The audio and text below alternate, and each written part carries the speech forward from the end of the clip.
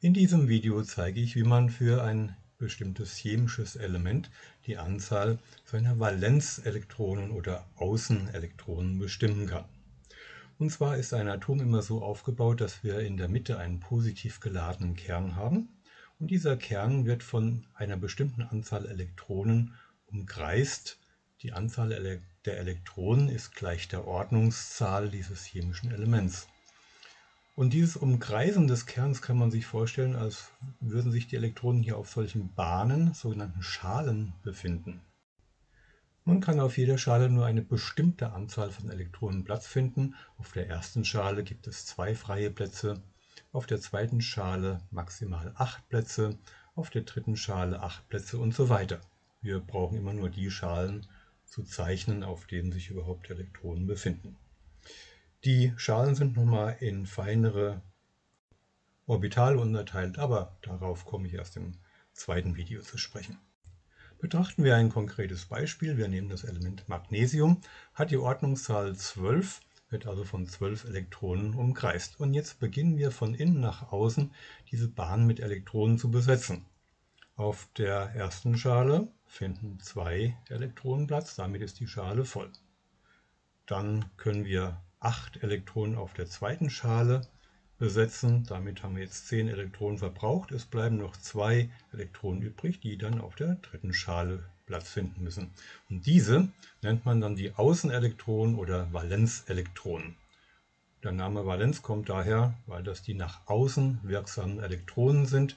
Die hier im Innen, die sind sozusagen abgeschirmt und die sich am weitesten außen befinden, die können auf ihre Nachbarn wirken und sind daher valent. Und somit besitzt das Element Magnesium zwei Valenzelektronen. Aber welche Bedeutung haben denn diese Valenzelektronen oder Außenelektronen? Warum sind die wichtig? Naja, die bestimmen die Eigenschaften unseres chemischen Elements. Die Elektronen, die auf den vollbesetzten Schalen im Innern sitzen, die üben nämlich kaum Kräfte nach außen aus. Die haben sozusagen gar keine Wirkung auf die Nachbaratome. Aber die Anzahl der Außenelektronen bestimmt die physikalischen Eigenschaften des Elements oder auch dessen chemische Reaktion. Und zwar, wenn wir uns mal anschauen, wir haben hier Lithium, das hat ein Valenzelektron, Natrium hat ebenfalls ein Valenzelektron, Kalium hat ebenfalls ein Valenzelektron und die drei Elemente verhalten sich physikalisch sehr ähnlich. Das sind nämlich alles Metalle, die gerne ihr Valenzelektron abgeben und dadurch den elektrischen Strom leiten können. Das sind Metalle. Und sie reagieren auch chemisch ähnlich. Deswegen nennt man diese drei Elemente auch die Alkalimetalle. Schauen wir uns dagegen die Elemente Fluor, Chlor und Brom an. Die haben als Gemeinsamkeit, dass sie immer sieben Valenzelektronen auf der äußersten Schale haben. Alle drei Elemente sind aggressive Gase die man Halogene nennt, weil sie chemisch gerne mit Alkalimetallen zusammen Salz bilden. Halogen heißt Salzbildner. Die Elemente Helium, Neon und Argon hingegen, die haben voll besetzte Außenschalen. Im Fall vom Helium ist das auf der ersten Schale die 2 Elektronen, beim Neon sind es 8 auf der zweiten Schale und beim Argon 8 auf der dritten Schale. Bei diesen drei Elementen handelt es sich um Edelgase. Die gehen fast gar keine chemischen Reaktionen ein, weil ihre äußerste Schale voll besetzt ist. Eigentlich müsste man sagen, dass diese Elektronen gar keine Valenz nach außen haben, weil sie ja gar nicht wirksam sind. Aber da es sich Elektronen auf der äußersten Schale befinden, nennt man sie trotzdem Valenzelektronen.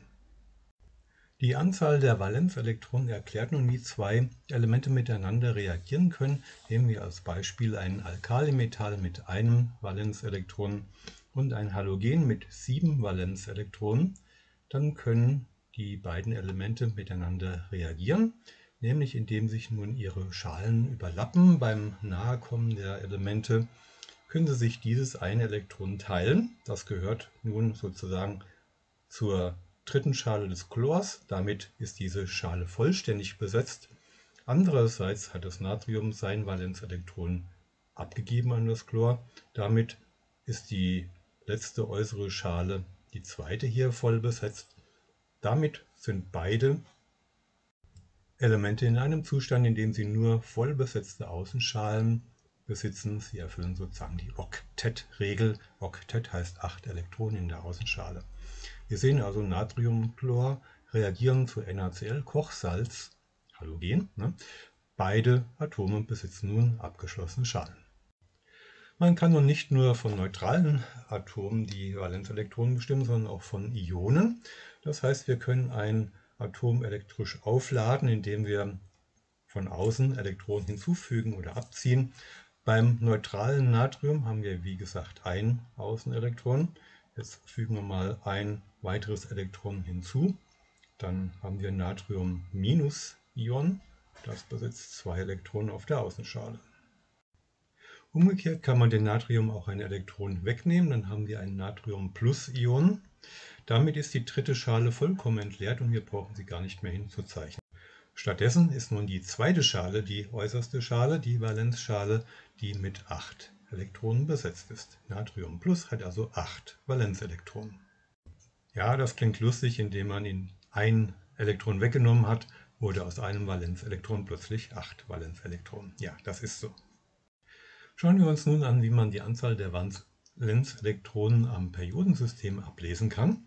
Und zwar sind ja im Periodensystem die Elemente in sogenannten Hauptgruppen von 1 bis 8 angeordnet. Die Hauptgruppen, das sind also die Spalten hier dieser Tabelle.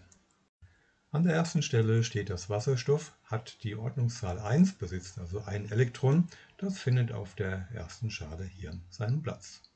Als nächstes haben wir das Helium, das befindet sich hier hinten. Das, befindet, äh, das besitzt zwei Elektronen, die können wir natürlich auf der ersten Schale unterbringen. Damit ist die erste Schale vollständig.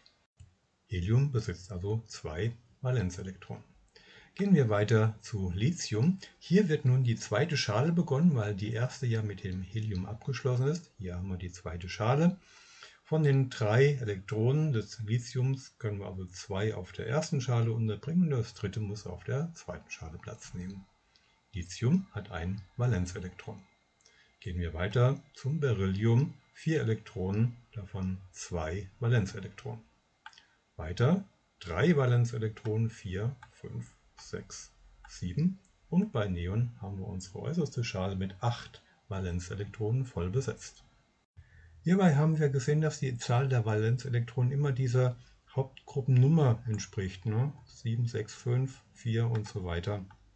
Dass wir also die Zahl der Valenzelektronen einfach in der Hauptgruppenzahl ablesen können. Gehen wir weiter zur nächsten Zeile. Das Natrium steht in der dritten Zeile. Das heißt, wir müssen nun die dritte Elektronenschale beginnen in der ersten Hauptgruppe. Wir haben ein Valenzelektron auf der dritten Schale. Und so setzt sich das natürlich auch hier wieder fort bis zu 8 Elektronen auf der dritten Schale. Somit können wir als Regel festhalten, die Anzahl der Valenzelektronen eines Elements ist gleich der Nummer der Hauptgruppe im Periodensystem.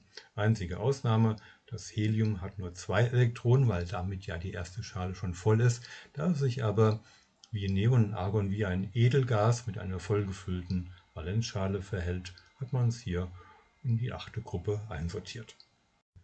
So, mit dieser Regel wisst ihr, wie man die Anzahl der Valenzelektronen von den wichtigsten Elementen in den Hauptgruppen bestimmt. Es gibt da noch den Sonderfall der Nebengruppenelemente. Das zeige ich euch im zweiten Teil des Videos.